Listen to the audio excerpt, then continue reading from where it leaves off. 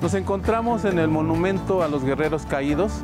Este monumento eh, es eh, conmemorativo a la fecha de los 500 años, 501 en, este, este momento, de la conmemoración de la batalla del 7 de julio de 1520, como honor a nuestros ancestros que libraron una batalla aquí con contra Hernán Cortés y sus huestes. El monumento fue construido, según versiones, por gente de vecinos españoles que avecindados aquí en Otumba originalmente, porque por eso la cruz y la, forma de la mojonera.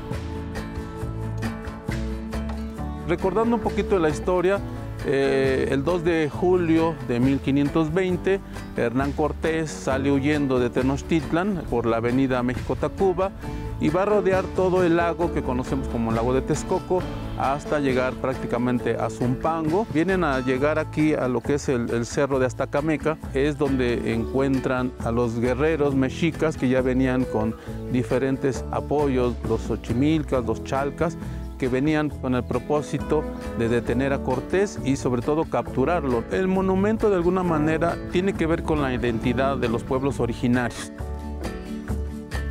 No dejen de visitarnos estos pueblos con encanto que tiene el Estado de México, como es Otumba. Pues los invitamos a que conozcan este maravilloso monumento a los guerreros caídos y todo Otumba, el municipio en, en general, tiene muchos atractivos.